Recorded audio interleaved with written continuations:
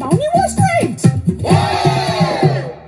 And now the time is finally here! We're gonna celebrate! Yay! So many colors, there's blossoms and blossoms and all of these flowers that bloom in your heart.